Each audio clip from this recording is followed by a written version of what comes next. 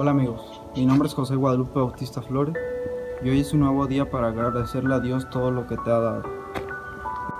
La vida no es un juego.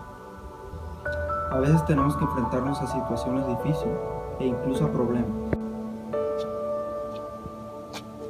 Si tú estás cansado de esta vida, deja que Jesús lleve tus cargas. Pero sabes, te tengo una buena noticia.